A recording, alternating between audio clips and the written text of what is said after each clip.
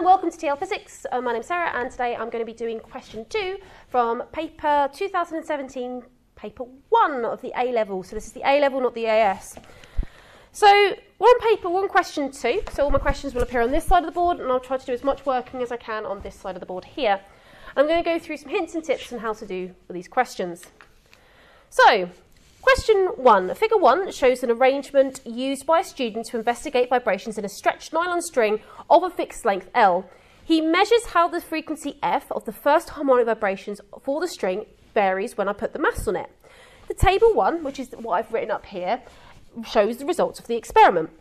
Show that, so question 2.1, show that the data in table one is consistent with the relationship of f is proportional to the square root of t, where t, and they don't, they say here, t is the tension in the string. These questions, I'm going to make very clear what you have to do. If you see questions like this, it's very simple, and you must do this every single time. So what I've been given is three sets of data, and I've been asked to say the frequency is directly proportional to the square root of the tension. In other words, what I'm saying here is that the frequency equals a constant, z, times by the square root of the tension. Now, what I've seen students try to do is put in this into the, uh, the standing wave formula, or the first harmonic formula, okay? You don't need to do that here. They've just given you a proportional relationship. Now, when you are given this, you're supposed to do this for every single point in that chart. Do not just do it once. You need to do it for every single point. This is only worth two marks, okay? So when you're trying to do this, you're trying to prove that all of these data will fit into this relationship. Now, a little twist that they've done here is they've put tension and they've put mass up here. So one of the things that you must do on this question is realise that, okay, tension in string is related to the mass. What they've done is got a piece of string, hung a mass off it, and that mass has a weight, and that weight causes a tension. So the first thing I'm going to do is convert all of these masses into um, gravity, okay, so into weight, I do apologise. So I'm going to times it by 9.81. So 0.5 times 9.81, so just going to do it quickly, 0.5 times 9.81 is 4, yeah, 0.905, 0.8 times 9.81, so 0.8 times 9.81 equals 7.848, and 1.2 times 9.81 so 1.2 times 9.81 is 11.772. Okay, so now I have all the tensions. So what I need to do is I need to do this for each formula, finding z each time. This is what this means. If they ask you if something is proportional and they want you to prove it, what you need to do is you need to find this constant for each of these results and then make a comment. And that make a comment bit's the most important. So let's do this. We'll call this A, B, and C. So 110 equals Z times the square root of 4.905.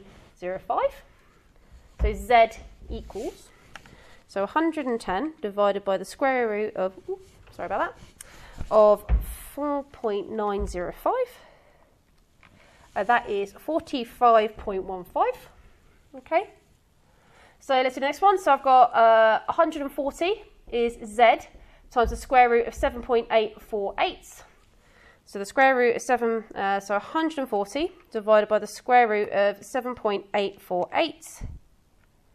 Um, and that equals 40, z is 49.97. And then the last one is uh, 170 equals z times the square root of 11.772. So 170 divided by the square root of 11.772, and that equals 49.54. Just want to double check the first one again, because of course these two are quite similar to each other. So as you can see, these two here are quite similar. Uh, that one's not. So I'm just going to check my working very quickly. Square root uh, 110 divided by, oops, I apologise about that. Let's put this here. Got a wandering thing here, which is very frustrating. Nope. Nope. Do apologise. That should hold it. Good. Uh, so 4.905, oh God. 110 divided by the square root of 4.905. Get an answer, oh, 49.66. So I did make a mistake. Seven, okay? So, I have found Z for every single one of these. This is where the second mark comes because you must, must, must do this. Not only must you do it for every single point of data, you also must make a comment. Because Z for each value is consistent, f is proportional to the square root of t. So by finding these values here and actually finding that they're consistent is important because what it does is it shows that this relationship is true. So that is only worth two marks. That question comes up a lot. So please, please, please be aware of that when you actually do it. So, question 2.2. Let's rip this off the board. And the question here asks you a nylon string used has a density of 1150 kilograms per meters cubed and an area or a uniform diameter of 5.0 times 10 to the minus 4 meters. Determine the length L for the string. Okay, this is worth three marks. So this is a determined, this means a calculation. Now, they have talked about a, an equation here. They've talked about the fact that it is, um, ooh, Willow, where has it gone? They've talked about using it to stretch, stretch on a scale of fixed length. He measures the frequency of the first harmonic. That should give you a massive hint on where to look. Okay, so in the data sheet, flicking over to waves, we see the formula for the first harmonic. So we see the formula of F is 1 over 2L square root tension over mu. So this formula has got this L in it. This one, mu, is known as the mass per unit length. And this kind of gives us a bit of a scupper because I've got two lengths. But this is something special about density. If you are ever given the density of anything, immediately write the density formula down. So I know that density is a mass over volume. Now this is a string. The volume of a string is the length times the area. And as you can see, this here, this mass over length, is that there. So I know that density is mu divided by A or mu A equals lambda. And this is important because you can use this in any way, shape or form to find out values. So we are given the diameter. Let's work out this area.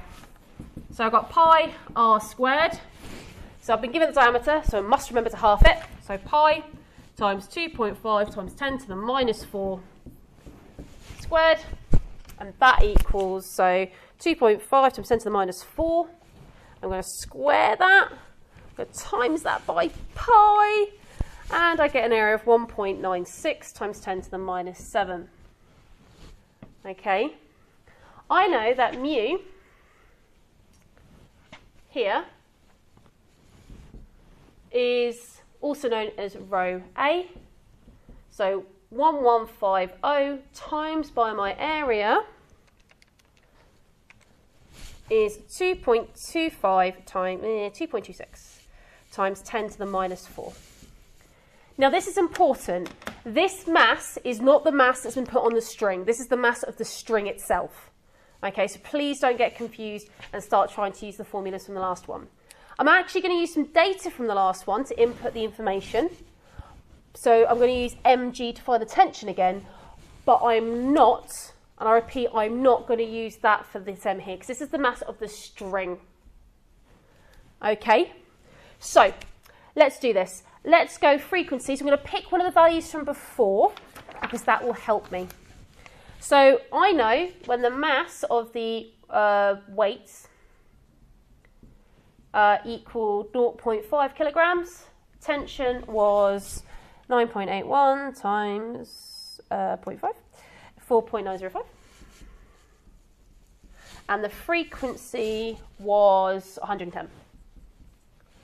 What I'm going to do now is I'm going to put the, these information into this thing here. So I've got 110 equals 1 over 2L, the square root of 4.905 over 2.26 times 10 to the minus 4. So let's rearrange this. Square root that. So this here is 147. And what I'm going to do is I'm going to rotate those two around. Okay, so the L is going to come up and the 110 is going to do come down. So I'm going to times that by 1 divided by 220. So I end up with L oops, equaling 0.67 metres. So if I just run over to my mark scheme, which is on the computer here, you get quite a nice few marks here. You get one mark for this bit here with the density. So even if you are unsure, if they give you the density, use it, okay? If they give you the density, work out. And this part of the volume of a prism is the length of the air. is so important. This formula here, using it and putting the data is another mark. And the right answer of 0.67 metres is the last mark there. So that there is question 2.2, worth three marks, and this is how to do it. So let's move on to question 2.3. Now, this again another written one that is worth two marks.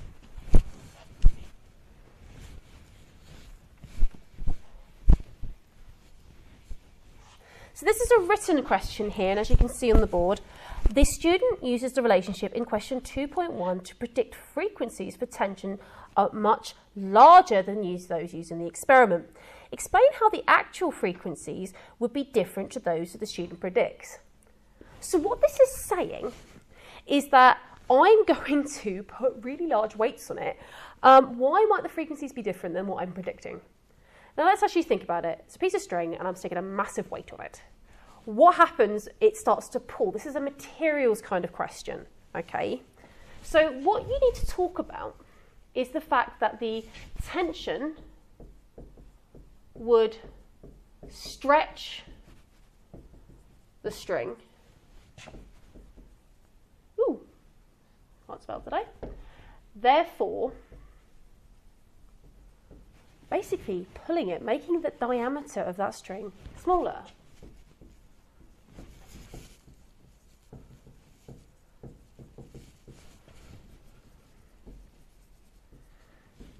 How would this affect it?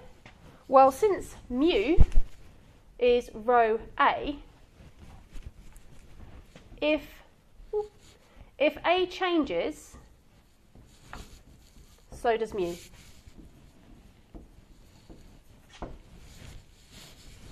Which means frequency is not directly oops, proportional to square root of t. Because what I'm assuming is that in my equation here, I'm actually assuming that mu stays the same no matter what. But when I put large forces on it, I stretch the wire, and that wire means that area gets smaller, gets thinner, and you see that it's called ductile failure. If the area is changing, mu changes. And we assume that mu stayed the same. It's not. So if the area changes, so does mu, which means the frequency is now not directly proportional to square root 2, which means you can't use the formula. So what I've done is I've stated the reason why it could be a problem, and then I have stated why mathematically that would mean the relationship's not true. So as you can see here, it says explain. Again, with explaining, you have to state a fact and then justify it with some physics. So I've stated a fact, tension would stretch the string, therefore making the diameter smaller. I've stated a fact that would happen. And then I said, how would that affect the mathematics? So I've said that mu, a, mu equals rho A. If A changes, so does mu, which means that F is now no longer directly proportional to root T. This would give you two marks, telling me the reason, stating the fact, and then justifying it with some physics. And it's really important with explain questions that you do that, that you state the obvious and then you justify your answer. So that